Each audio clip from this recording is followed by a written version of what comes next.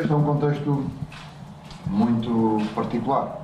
وطبعا الظروف اللي إحنا فيها دي وخاصة مع المباراتين دول تعتبر ظروف خاصة جدا Nós vamos jogar agora e depois vamos fazer uma viagem de aproximadamente 9 horas يعني إحنا هنلعب المباراة وبعد المباراة اليوم اللي بعده هيكون معانا رحلة طيران تقريبا بما يقارب التسع ساعات. ويومين فقط اللي هو الفرق بين مباراة ومباراة وبعد كده نلعب المباراة اللي بعديها arduamente difícil dessa, por essa vitória.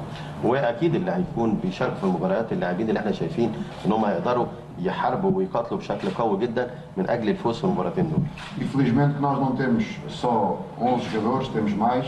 ولحسن الحظ إن إحنا ما عندناش فريق 11 لاعب فقط لا عندنا فريق فيه عناصر كثيره جدا.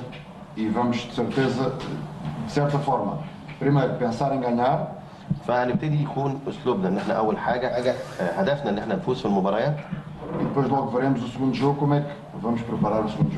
وبعد O grande objetivo é ganhar.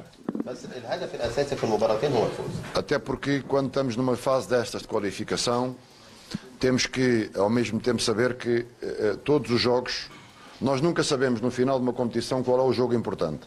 لان انت دلوقتي داخلين مرحله تصفيات تصفيات فيها آه، مباريات عديده بس انت مش وقت ما توصل في الاخر مش هتبقى عارف ايه هي كانت اهم مباراه قدامك او هي المباراه اللي كانت هي الحاسمه بالنسبه لك في التصفيات دي E muitas vezes no final das, com- de, de uma, de uma fase de um campeonato, de uma fase de qualificação, olhamos para trás e dizemos, "Epá, perdemos dois pontos ali, eh, perdemos com um adversário direto, mas não há uma receita certa para isto. Portanto, uma equipa grande tem que estar sempre pronta para disputar até ao limite os jogos que vai enfrentar.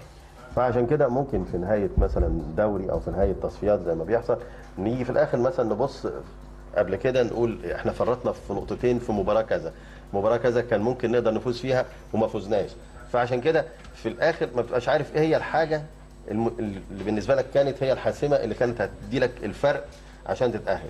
فلازم من البداية إن إحنا نبص على المباريات دي كلها بنظرة قوية جدا إن هي إن شاء الله يكون هدفنا فيها الفوز ونطمح منها للنقاط من أجل التأهل.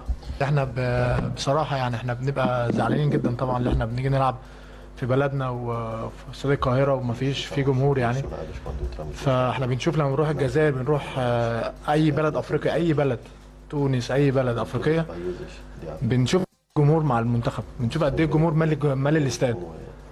ف- فبيتهيألي يعني دي بتبقى نقطة جوه بالنسبة لهم يعني. إحنا بنشوف دايما أي أي فرقة بنروحها أي فرقة كانت صغيرة كبيرة بقى ال- الاستاد مليان. ف فأنا بشوفها شوية اللي هي يعني مش كويسة اللي إحنا نلعب في المنتخب في بلدنا هنا وما فيش جمهور ويعني بتمنى بتمنى الجمهور تاني يرجع تاني ال- ال- الاستاد ويبقى مالي الاستاد. عشان إحنا كلنا بنحب البلد يعني. كلنا بنحب منتخب مصر أكيد والناس حبانا نكسب وحبانا المنتخب يوصل كأس عالم وناخد بطولة أفريقيا. فاحنا بناخد بناخد يعني القوة دي منكم يعني. بناخد القوة دي من جمهور مصر طبعا. ف فبتمنى إن شاء الله بكرة يكون الاستاد مليان إن شاء الله ويكونوا جنبنا في كل الخطوات اللي إحنا جايين